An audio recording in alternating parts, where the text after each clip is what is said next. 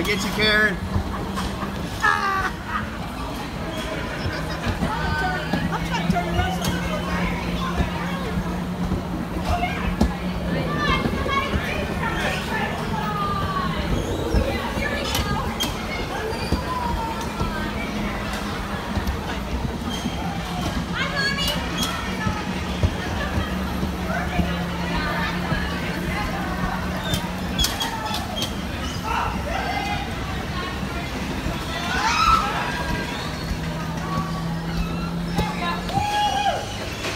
Not Brian Good.